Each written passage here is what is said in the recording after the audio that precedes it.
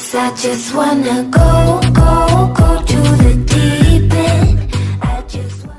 अगर फ्रेंड्स आपके पास है Realme का GT2 टू प्रो और इस फ़ोन में फ्रेंड्स आपको करना है स्क्रीन शॉट क्लिक तो फ्रेंड्स मैं आपको बताऊँगा इस फ़ोन में आप किस किस टाइप से स्क्रीन शॉट को ले सकते हैं। अगर आपको लॉन्ग स्क्रीन शॉट चाहिए इस फ़ोन के अंदर तो उसको कैसे बना सकते हैं, ये भी फ्रेंड्स मैं आपको इसी वीडियो में बताने वाला हूँ। चलिए फ्रेंड्स वीडियो को शुरू करते हैं।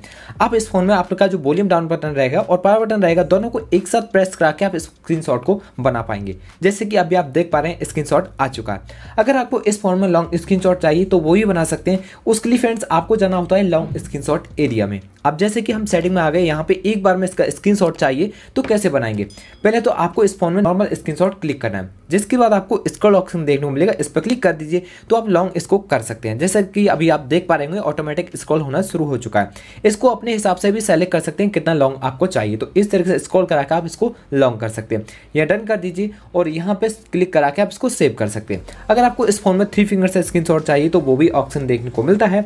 आप थ्री फिंगर लीजिए स्क्रीन पर इस तरीके से डाउन कीजिए। तो आप इस फ़ोन में स्क्रीन को भी बना सकते हैं। जैसे कि अभी आप देख पा रहे होंगे स्क्रीन आ चुका है।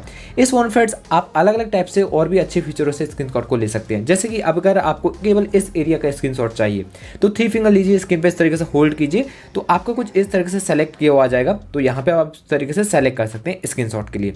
यहाँ आपको एक और ऑप्शन देखने को मिलेगा, नीचे की ओर, जैसे कि गोल यहाँ पे क्लिक करेंगे तो आप गोल टाइप को स्क्रीन को क्रिएट कर पाएँगे। जैसे कि आपको एरिया सेलेक्ट करके स्क्रीन बनाना है तो वो भी बना पाएँगे।